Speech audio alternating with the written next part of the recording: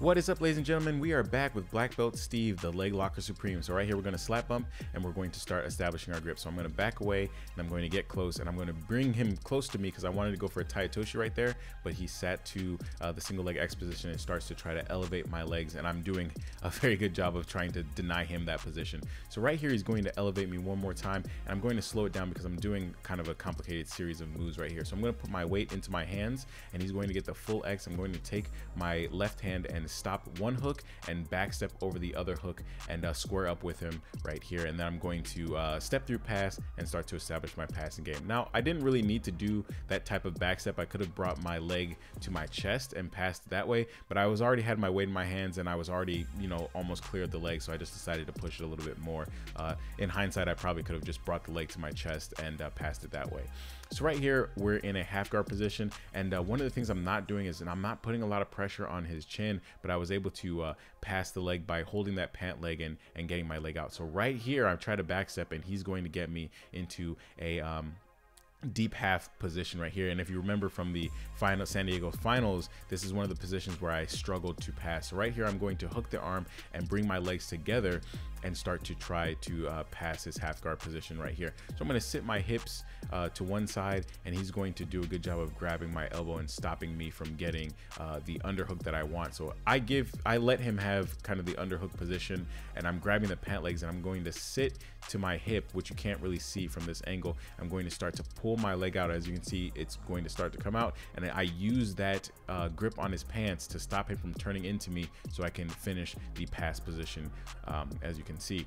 So right here I'm going to settle into side control on the other side of his body grab the back of the head and uh, start feeding out the lapel on the other side. Like I said, the, the feeding out the lapel is just something I just naturally do. It's part of my game. Anytime I'm in side control or anytime I'm starting to set up side control, I pass the lapel uh, behind the head or try to trap the arm. So uh, what you're going to see here is that I'm going to grab the pant leg and I'm going to come up to a knee on belly position, pass the hand over and start setting up a Brabo choke. So right here, I'm trying to find that extra material behind his neck.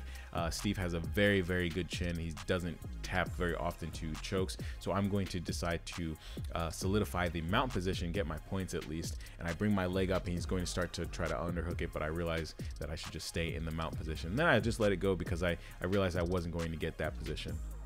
So right here, I try to backstep to the other side because I still want to work passing. I don't really want to work uh, the mount uh, submissions and positions from there. So right here, he's going to get me um, in like a half guard position right here. He's got one butterfly hook in and he's starting to elevate me once again. I'm just going to backstep my legs like I've been doing uh, throughout the video and uh, clear those legs because he wants to elevate me in single leg X and uh, start setting up the inside sankaku and uh, 411 position and start to um, um, basically set up the leg locks like he usually does in the other videos. So right here, as you can see, I was able to kind of force his knees one way and pass the other way. Um, I've been watching a lot of uh, John Danaher's open, uh, passing the open guard, and he's basically what he says is like if you if the opponent's knees are facing one way, you should be passing the other way. Try to get their knees and their toes not facing the direction you're in.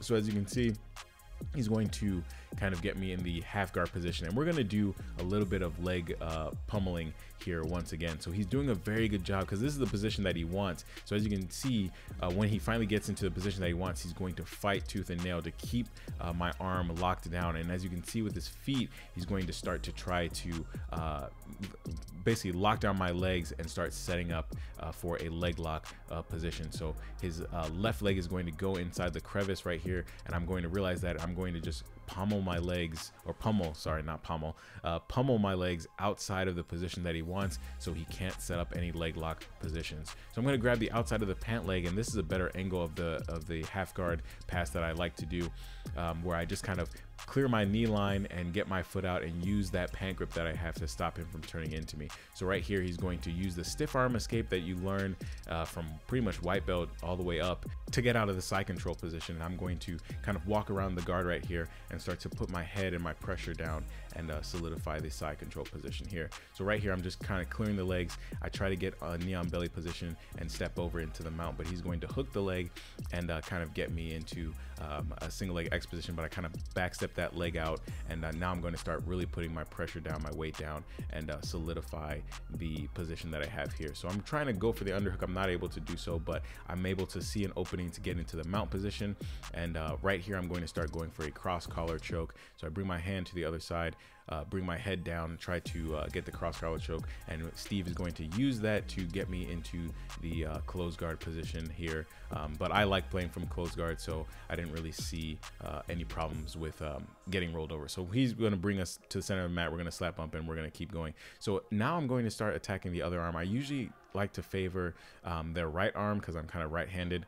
Um, I decided to start attacking the other arm and just, you know, uh, try to switch up my close guard game. So right here, he's going to open up the guard. I'm going to shoulder walk away and I'm going to turn into him to stop him from uh, uh, solidifying any pass positions uh, that he was thinking about doing. And right here, I'm going to kind of step my legs back, keep a nice distance away, not really let him grab grip. So I'm going to force his legs uh, one way and start walking around to the other way. Like I said, with the John Danaher uh, close, not close guard, uh, the uh, open guard um, instructional, point the knees the opposite direction. So right here, what I'm going to do is I'm to walk my hips into the crevice that I'm creating, and I'm going to try to get into a mount position. So right here, um, slow it down. I'm going to scoop the legs and get over into the mount position, clear my arm, and uh, solidify the mount position right there. And that, ladies and gentlemen, is the end of the roll.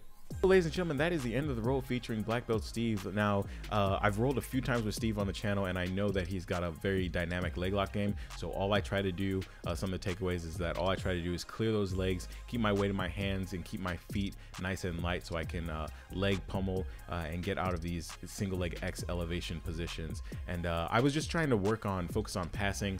Uh, this was before the San Diego competition, so I was just kind of working on passing, getting my timing right, getting my um, situational awareness right, uh, just flowing through different positions and seeing where I could pass and where I could uh, be better. So ladies and gentlemen, that is the end of the video for today. I hope you guys enjoyed it and I will catch you on the next one. Peace.